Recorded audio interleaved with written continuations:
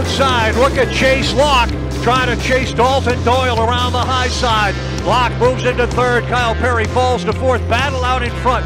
On the outside, Dalton Doyle down to the inside. Dave Cliff right behind him. And Cliff trying to hang on to the top spot. Here comes the 22 of Mike Bruce down to the inside. Locke on the outside, the battle for the lead. It's like a pace lap out there. Locke on the outside, Cliff the inside. And here comes the 75 of Tyler Thompson.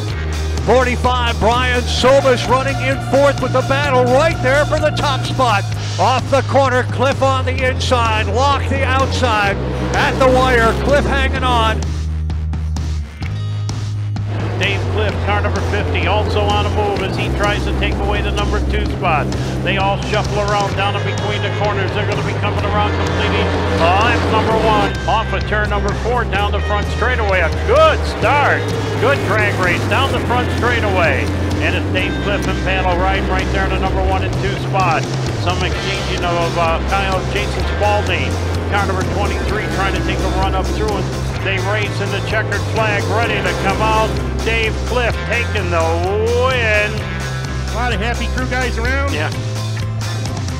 Finally, feature winner in the 350 Super Modified, Dave Cliff.